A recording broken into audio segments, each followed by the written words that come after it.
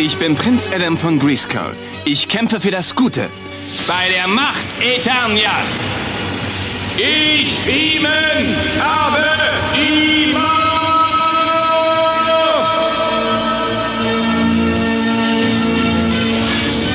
Ich bin in die Zukunft gekommen, um den Letzten der Menschheit beim Kampf gegen das Böse zu helfen.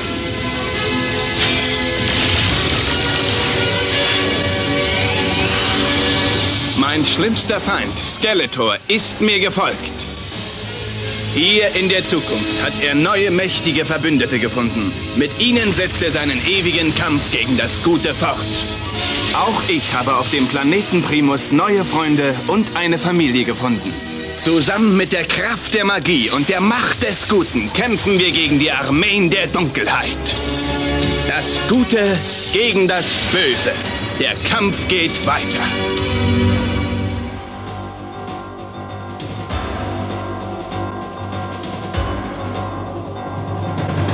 Hungrig nach der Macht über das Trisolarsystem bedienen sich Skeletor und Flock neuer Niederträchtigkeiten.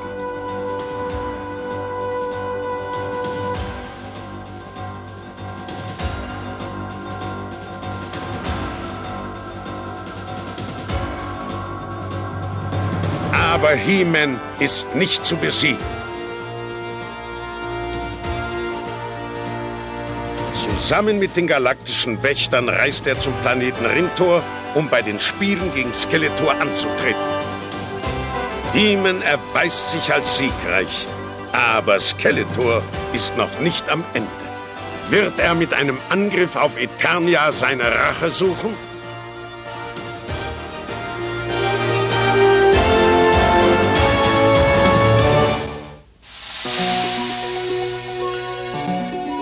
Wir haben alles getan, was zu tun war. Die Spiele gewonnen und die Mutanten besiegt. Aber nun lasst uns endlich nach Primus zurückkehren. Denn wenn wir fort sind, wird Flock versuchen, unseren Planeten anzugreifen. Wir verstehen. Und so wünschen wir euch, wie ihr sagen würdet, gute Reise, ja? Wisst ihr, eigentlich sind sie gar keine so schlechten Kerle. Sie haben uns ja nur angegriffen und uns mit Waffengewalt gezwungen, einmal quer durchs Universum zu reisen. Von den beiden lebensgefährlichen Schlachten mit den Mutanten einmal ganz abgesehen. Das Wichtigste ist jetzt, Master Sebrian zu benachrichtigen, dass wir alle gesund sind.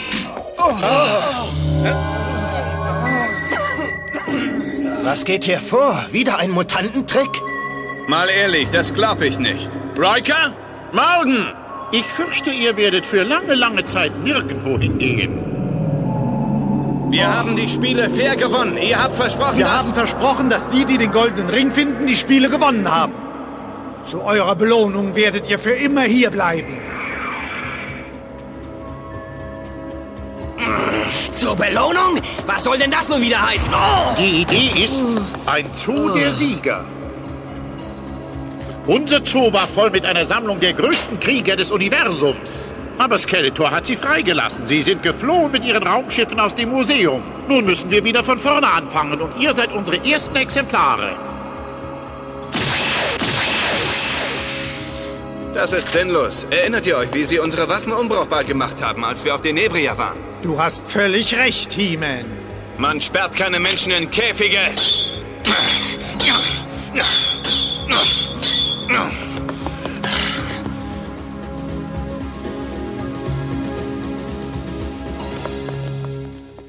Wir werden lange brauchen, um den Zoo wieder aufzubauen. Ich habe genug gehört, Huf. Den Planeten zu überwachen hat sich bezahlt gemacht. Die galaktischen Wächter werden gefangen gehalten. Wenn Primus nicht von He-Man beschützt wird, ergibt sich für uns eine einmalige Gelegenheit. Solange He-Man noch lebt, werden wir in Gefahr sein. Willst du etwa zurückfliegen, die galaktischen Wächter angreifen und als ihre Zellengenossen enden, Gevatter? Ah, Ich persönlich bin aber gegen diese Idee. Ich bin es leid, mir anzuhören, was du meinst, Skeletor. Jedes Mal, wenn ich deinem Rat folge, lande ich im Schlamassel. Sogar Slushhead fängt schon an zu denken, ich bin ein Idiot. Oh, ich würde nicht sagen ein Idiot, vielleicht ein Schwachkopf oder ein Trottel oder... Äh Halt's Maul! Oh, du verstehst mich falsch, Floggy. He-Man wird einen Weg finden, aus diesem Zoo auszubrechen, nur um sein geliebtes Primus zu retten. Aber er wird zu spät kommen. Das Einzige, was er finden wird, ist der liebe Skeletor, der auf ihn wartet. Optik, nimm Kurs auf Primus! Jawohl! Huf, nimm Verbindung zum Mond Nordor auf. Lass alle Mutantenflieger sofort aufsteigen. Wir werden uns mit ihnen auf dem Weg nach Primus treffen. Quake, lass alle Kampfmaschinen an Bord einsatzbereit machen. Das wird ein herrlicher Totalangriff auf den Planeten Primus.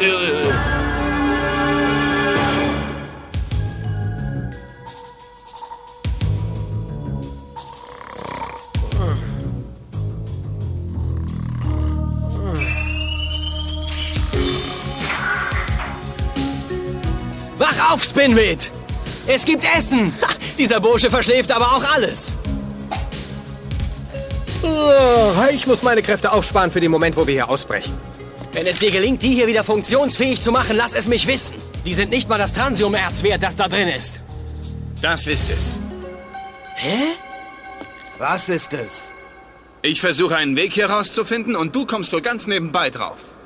Tja, was soll ich dazu sagen? So bin ich eben. Oh, wenn unsere Waffen auch nicht funktionieren, aber Transiumerz ist immer noch Transiumerz.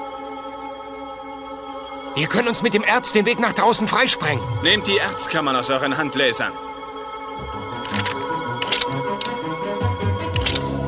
Also, welches ist die schwächste Stelle der Zelle? Genau da drüben. Der Schlitz, durch den unser Essen kommt. Hm, das würde ich auch sagen. Nur eine Frage. Wenn unsere Waffen unbrauchbar sind, wie bringen wir das Transiumerz zum Explodieren? Na, das mache ich mit meinem Schwert. Jetzt geht zurück, alle miteinander. Bei der Macht Eternias, ich Himen habe die Macht!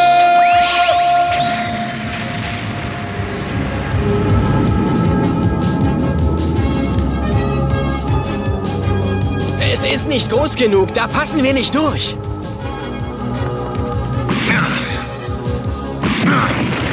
So sollte es gehen.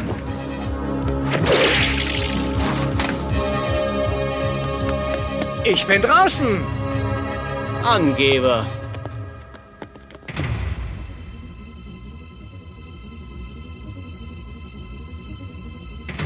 Da haben Sie wirklich gute Arbeit geleistet. Das Schiff wird nie wieder fliegen.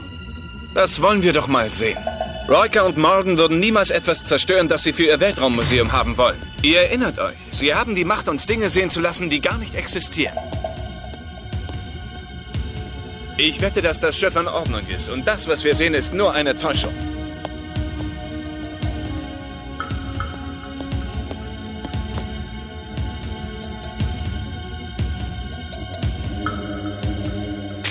Weg der Magie, zeigt mir die Wahrheit.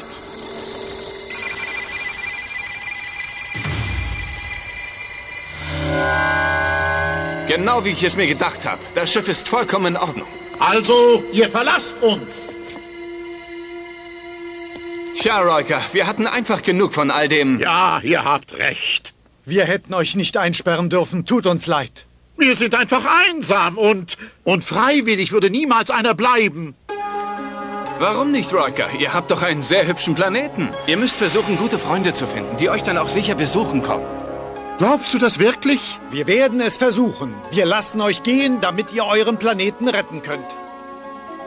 Was meinst du mit unseren Planeten retten? Ihr habt Skeletor richtig eingeschätzt. Er und die Mutanten planen einen gewaltigen Überfall auf Primus. Unser Radarschirm zeigt eine riesige Flotte, die sich Primus nähert. Dann haben wir keine Zeit zu verlieren. Wir kehren zurück, um unseren Planeten zu verteidigen.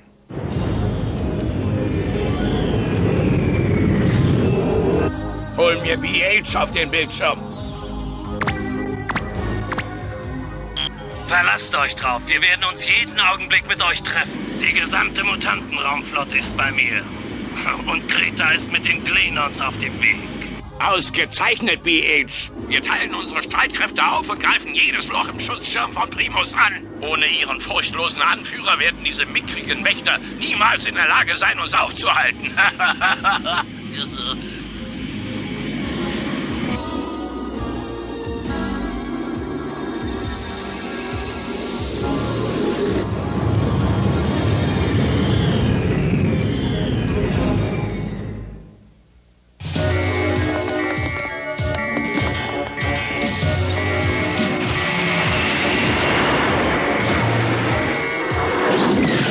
ich melde, wir haben jedes verfügbare Astrosub am Himmel, Visa.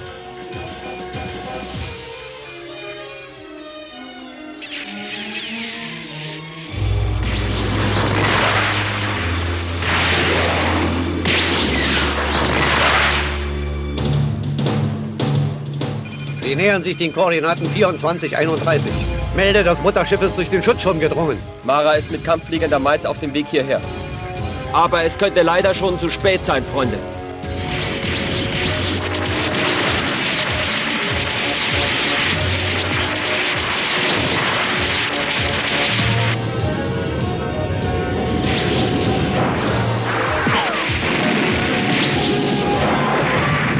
Wir haben... Freunde, der Sieg ist unser!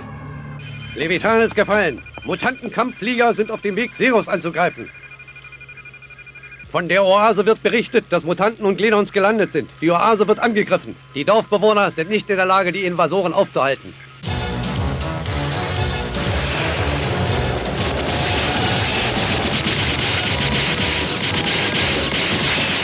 Sie überrennen unsere Stellung. Wenn wir sie nicht aufhalten, wird ihnen die Oase in die Hände fallen. Elftes Geschwader begebt euch in flankierende Position. Der Kampf ist fast...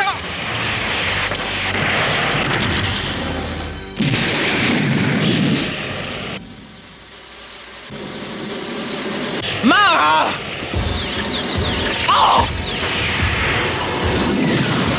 Du hast also beschlossen, an unserer kleinen Party teilzunehmen. Prima! Krita und Flock! Krita und Flock! Mara greift unsere Stellung mit einem Geschwader von Maid-Kampffliegern an. Wir brauchen sofort Luftunterstützung! Es ist Mara! Ich wusste, dass sie zu uns durchkommen würde! Wir müssen die Glenons unbedingt aufhalten.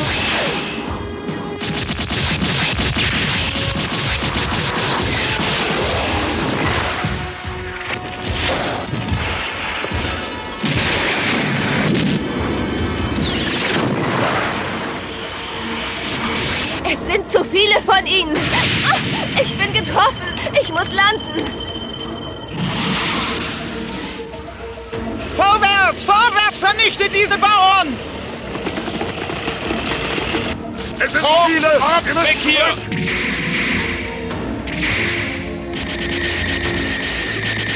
Fliegt, Freunde!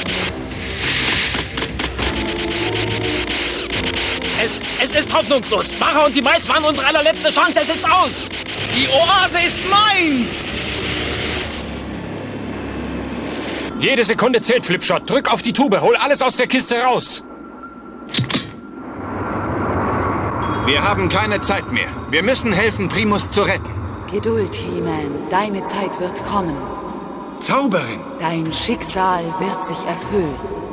Dann kann Primus noch gerettet werden? Es ist deine Bestimmung zu kämpfen, He-Man. Aber ob du gewinnst oder nicht, liegt in deiner Hand.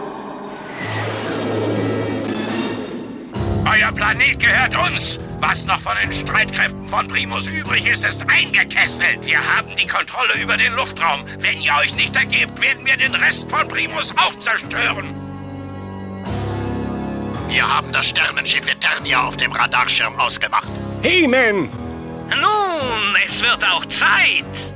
He-Man wird Primus retten. Er wird nicht mehr in der Verfassung sein, irgendwas zu retten, wenn ich mit ihm fertig bin. Ah, He-Man, He-Man, werde ich den denn niemals loswerden? Zurück zum Mutterschiff. Das Sternenschiff Eternia greift an. Wir müssen verhindern, dass sie ihr Mutterschiff in die Luft bekommen, Hydra.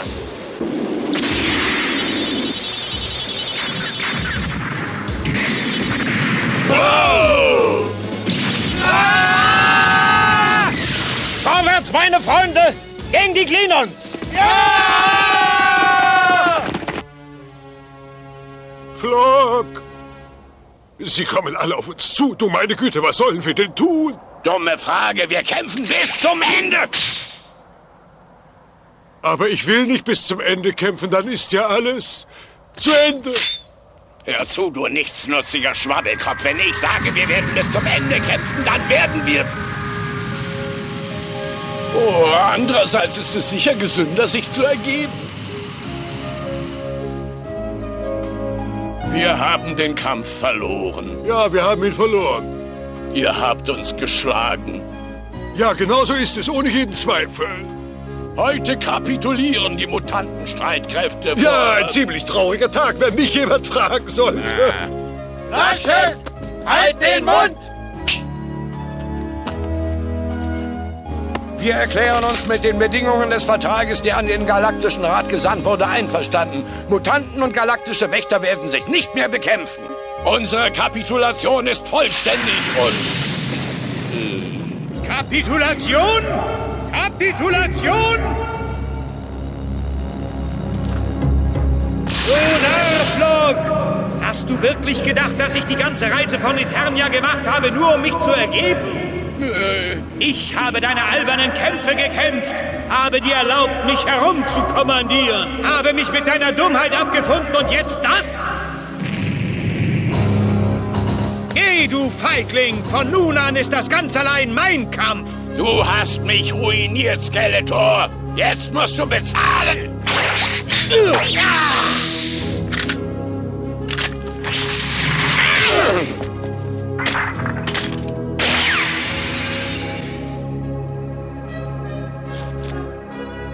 Du hast dich entschieden, Kreta. Geh zusammen mit Skeletor unter.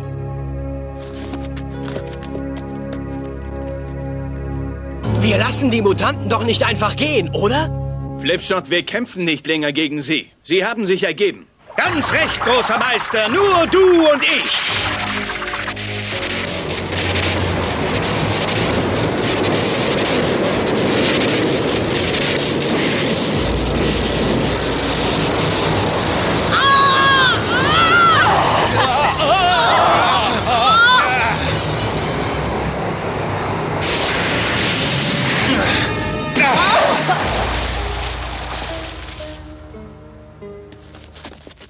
Dieser Ort kommt mir bekannt vor. Es sind die Ruinen nahe der Oase. Willkommen an deiner letzten Ruhestätte, He-Man! Mit dir werde ich allein fertig.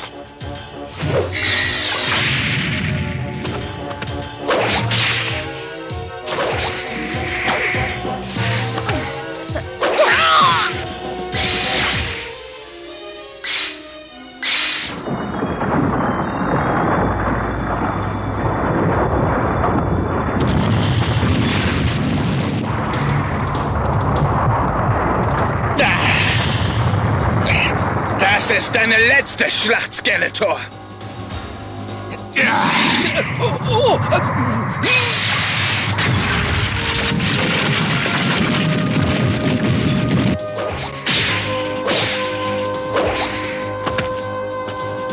Wenn ich dich erst mal los bin, Mara, wird dein Planet mir gehören!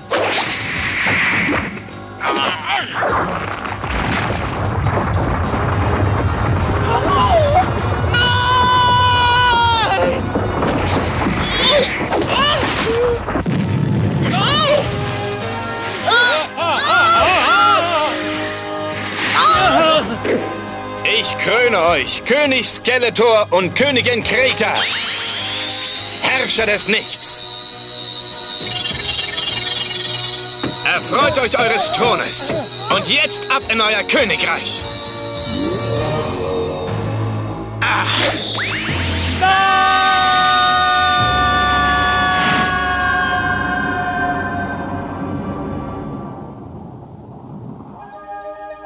Das ist der endgültige Sieg des Guten. Aber Skeletor hat die Macht zurückzukehren. Ohne seinen Stab wird ihn die Kraft der Magie in seinem Schiff eingeschlossen halten. Es ist vorbei, Mara. Also ist der Tag endlich gekommen. Primus ist von keiner Gefahr mehr bedroht. Jetzt sind wir alle sicher. Unser langer Krieg gegen die Mutanten ist gewonnen. Freunde, jetzt bin ich zufrieden. Mein Schicksal hat sich erfüllt. Alle für einen und einer für alle.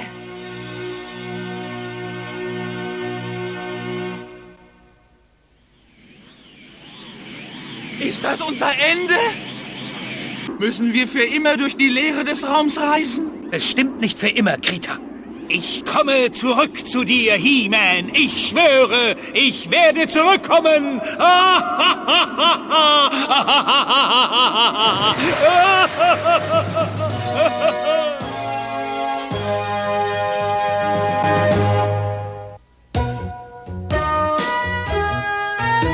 Flipshot, was ist los? Och, nichts. Flipshot, wir sind deine Freunde. Mach uns nichts vor. Ich habe gerade erfahren, wie viel es kostet, meinen Bola-Jet zu reparieren. Ich bin fix und fertig. Ich weiß nicht, was ich machen soll. Wir werden dir helfen. Wir halten zu dir. Danke. Wenn du niedergeschlagen bist, vertrau dich deinen Freunden an, aber nimm keine Drogen. Sie helfen dir nicht, sondern vergrößern dein Problem. Sag zu allen Drogen Nein. Das wird für dich das Beste sein.